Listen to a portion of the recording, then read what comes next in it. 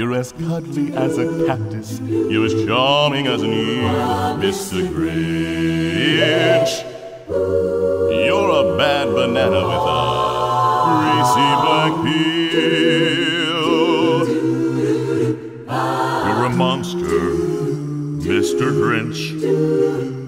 Your heart's an hole.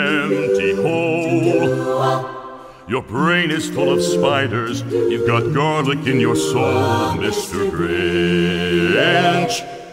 I wouldn't touch you with a 39 and a half foot pole. You're a foul one, Mr. Grinch. You have termites in your smile. You have all the tender sweetness of a seasick crocodile, Mr. Grinch. Given the choice between the two of you, I'd take the seasick crocodile.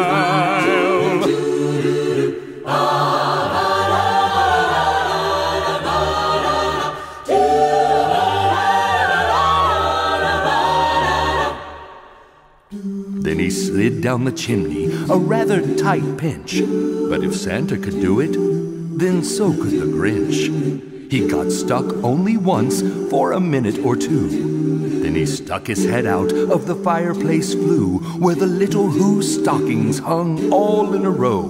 These stockings, he grinched, are the first things to go.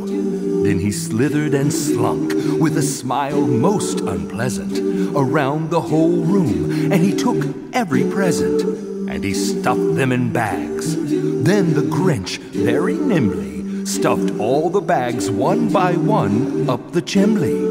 Then he stuffed all the food up the chimney with glee.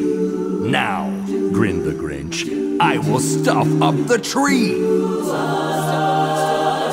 The tree. You're a vile one, Mr. Grinch. You're a nasty, wasty skunk.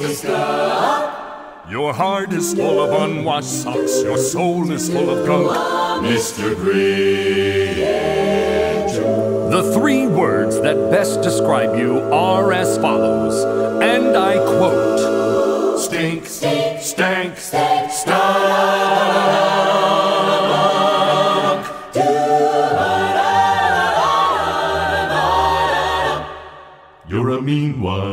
Mr. Grinch.